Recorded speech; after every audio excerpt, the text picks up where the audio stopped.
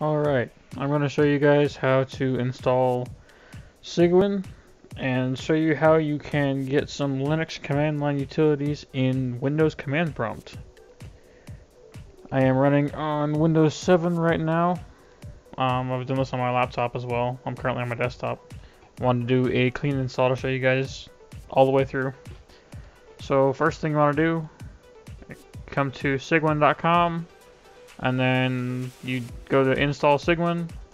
Depending on if you're running on 32-bit uh, or 64-bit, you'll choose the correct package. I'm on 64-bit, and it's really small. 945 kilobytes right here, so shouldn't take long to download. Now, you want to keep this program. This is the Cygwin setup program.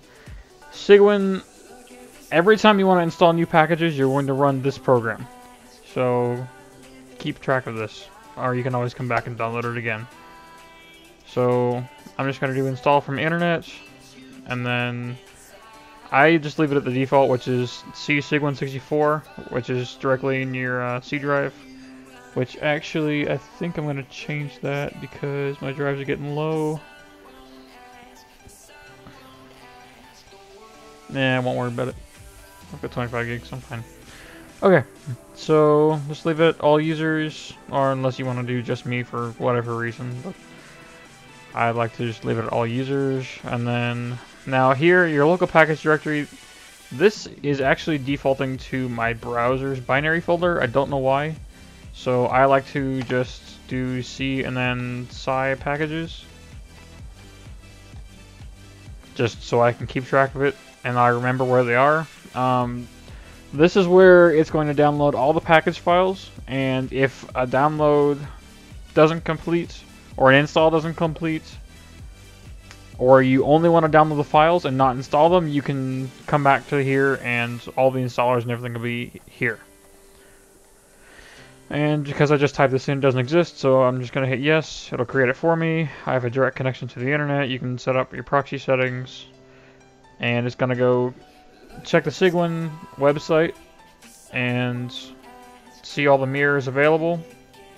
To all of these are the websites that are hosting files right now. Now, since we're in Salt Lake City, I am going to choose Xmission. Uh, you can hold Control and select as many as you want, uh, and then hit, or you can add your own right here. Uh, hit Next, and it's gonna go scan the servers and look at all the packages they have available on those servers. This should not take too long. So right now I'm not going to install anything. Um, like you can go here and install GNOME or KDE or if you've got Emacs you want to install or whatever. Go ahead and go through here, but I'm just going to go hit next. And right now it's going to install the basic Cygwin packages. Just hit next, and it's going to go through, download them and install them. Which this may take a long time depending on the speed of the servers you select and also the number of packages you select. If you go through and select every single package, there's like hundreds of packages in here. It's going to take you a long time to download, so this may have to run for a while. Just keep that in mind.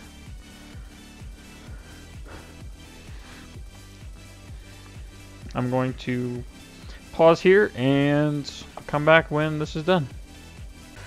Alright, so after it's done downloading, it's going to start immediately installing them. Uh, depending on number of packages you choose and the speed of your computer, this may take a long time, or it may go relatively fast.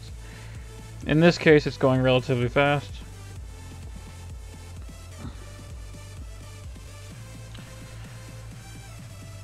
And this should be done in a few seconds. I've done this both on Windows 7 and Windows 8 with no issues whatsoever, so... I think you could probably do this on XP and Vista with no issues either. It's just uh, editing a path variable, really. As long as you don't mess that up, you'll be fine. It's pretty easy.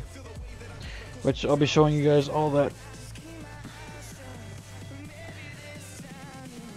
Alright, so while this is finishing up, and you can choose whether to do icons on your desktop or in your start menu. Just gonna hit finish.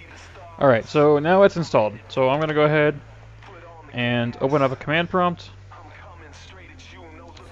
Now I installed it to my main CD drive. So I'm going to CD up to the main drive and then CD into Cygwin. And then once you're in Cygwin 64, you want to CD to the bin directory. And in here you have all of your programs. I'm just going to run the Windows directory command and you can see all the files in here. You do not have to remember the name of all of these. If you remember your Unix and Linux commands, it's the exact same thing. So if I run ls, it runs the ls command. If I run man ls, it runs the man command. Right here in command prompt. So this is nice, but currently you have to be inside the bin folder to do this. So we're gonna make it so that you don't have to be in bin. You can be anywhere in Windows as long as you're in uh, command prompts, you'll be able to use it. So I'm to go to where I installed Cygwin. Cygwin 6, I'm sorry, C Cygwin 64 bin.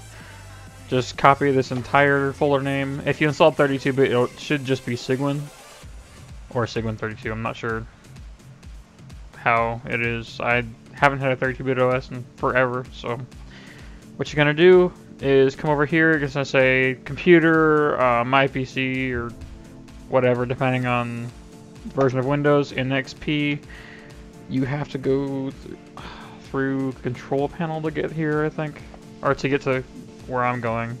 I just hit properties, and then you hit advanced system settings right here. And then this is the system properties window. In the advanced tab, if you're not already there, you want to click environment variables and here's all the environment variables for your user profile and your computer. So in the system variables area, you want to scroll down until you find path. And then you want to hit edit. So it should be highlighted. Make sure you do not delete this because this can cause your computer to not work properly. So I just hit the right arrow key on the keyboard and then you want to insert a semicolon, paste in what you just copied, and then I always put a trailing slash at the end. And then you want to hit OK, hit OK, and hit OK here and close all those. And now you're good to go. Now what you'll notice is that if I cd out of here, I can't run the ls command. And that's because the environment variables have not been loaded. So what you need to do now is restart your computer, which I'm going to do and then come back. And when you do that, it will you'll be able to run these commands anywhere, and I'll be able to show you that too. So I'll be right back. Alright, I am back now, and let's get the command prompt up. Alright, so just re rebooted Windows 7, and now I can run ls, and it will run show all the files and folders I can run, I don't know.